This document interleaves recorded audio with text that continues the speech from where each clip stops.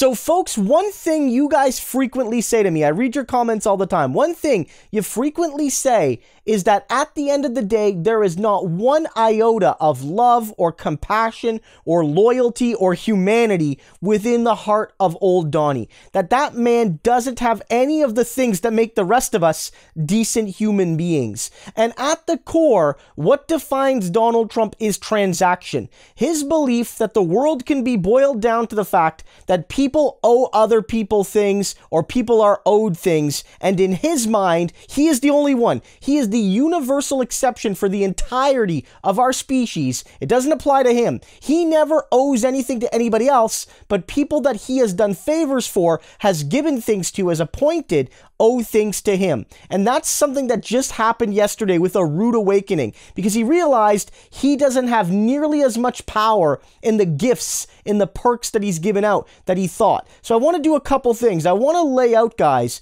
how old Donnie took a series of massive defeats. I've covered them a bit, but this is a good super cut for anybody that's been really busy the last couple days or just wants to revel in the humiliation of Trump explaining all of his losses. And there's a central central theme to them.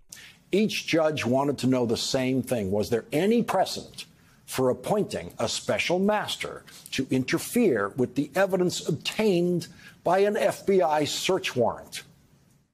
Is there any precedent for exercising equitable jurisdiction in a pre indictment scenario where there's no showing that the seizure itself was unlawful?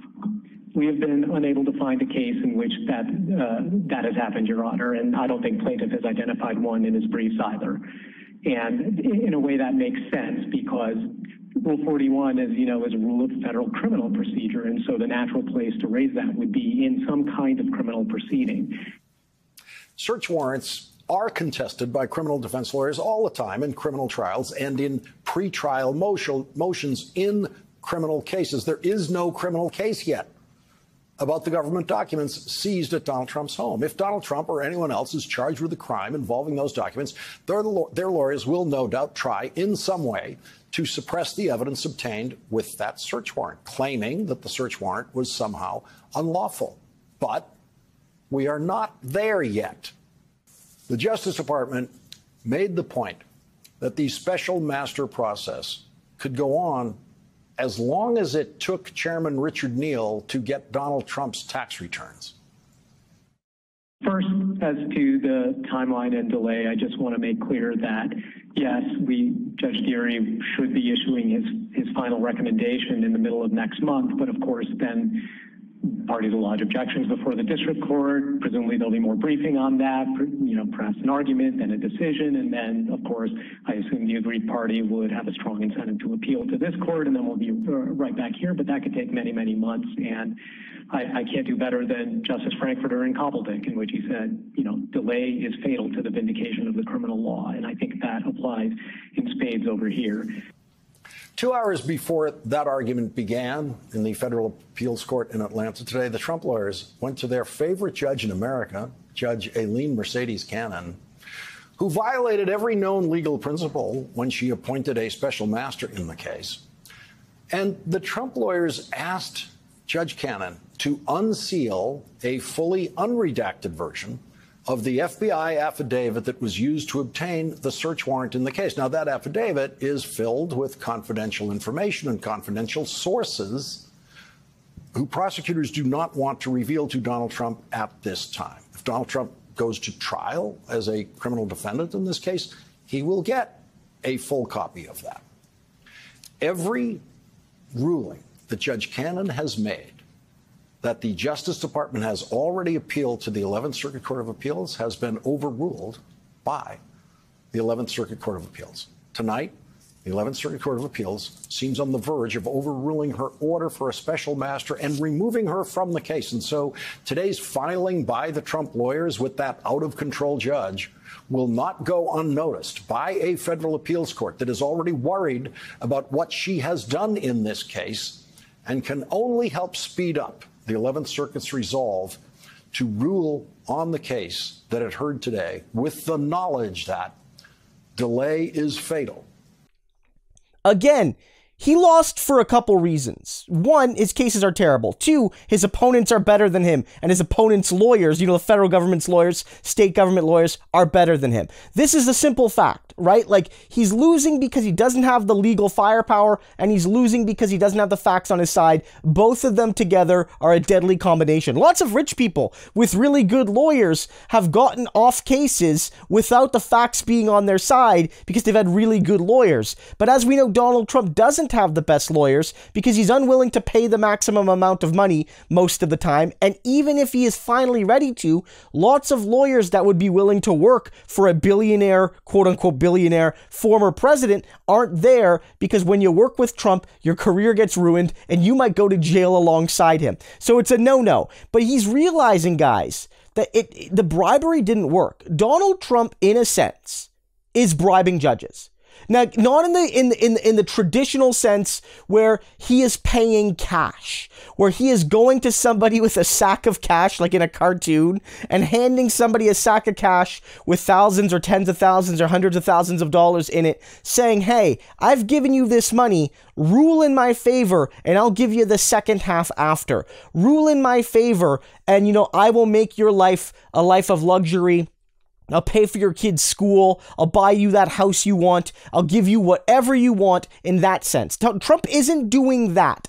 Nonetheless, he views the judicial appointment system as a tool of bribery. He is paying these judges in loyalty and he is paying them in a job. That's how he sees it. So when he looks at this, he says, I am paying people this lifetime appointment and they owe me. They owe me in terms of passing the policies that I want, but more controversially, they owe me if I ever have a personal case before them. And that might have worked with Cannon. She might have quote unquote accepted the bribe, but it hasn't worked this time. This clip lays it out fantastically. And and Willie, so much of this he should have seen coming. Uh, he thought that that the judges on the Supreme Court were going to be like Judge Cannon, who yesterday uh, just took an absolute drubbing in the 11th Circuit. Again, for those that don't follow it, the 11th Circuit is one of the most conservative circuits in America. It's probably the rights version of the Ninth Circuit out on the West Coast.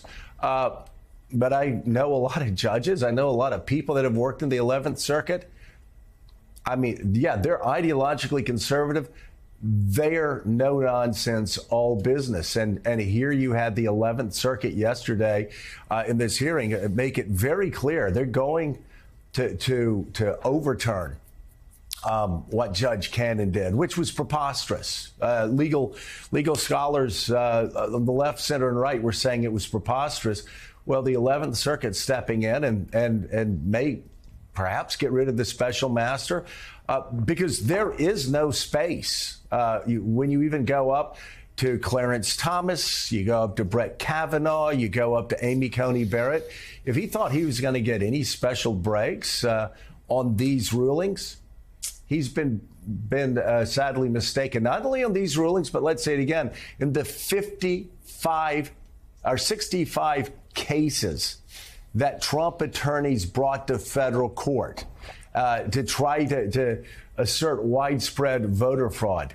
He went 0 and 65. This is quite a compelling argument for uh, this Supreme Court on these issues being uh, being straightforward and calling balls and strikes. And this all gets to Donald Trump's mistaken mentality, which is if I appointed you, I have impunity under you which is to say, I did you a favor, you do me a favor, like he's operating a, a, business deal in New York in the 1980s. And Hugo Lowell, if you look at this 11th Circuit decision, we're talking about a three judge panel. To Joe's point, two of those three judges were Trump appointees. So he thought he was going to get a, a good ride, uh, did not. What are the implications of this? What does it mean practically now, this ruling out of the 11th Circuit?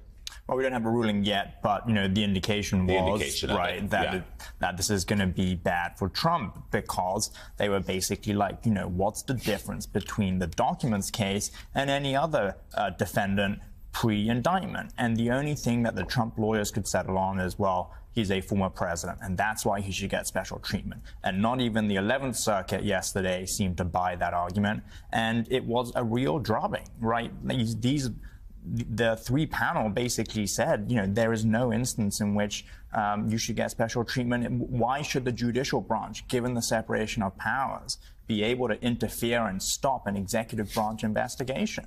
And that was the kind of the fundamental issue at play. And I think you know that's why everyone came away from that hearing thinking Trump's special masters basically didn't get terminated. Yeah, you know, uh, Rev, you and I have known Donald Trump for a, a, a very long time. Um, I guess we're not surprised that he would think that if he appointed somebody, they were going to do him favors. Uh, but it shows a complete ignorance of the federal judiciary, a complete, absolute ignorance.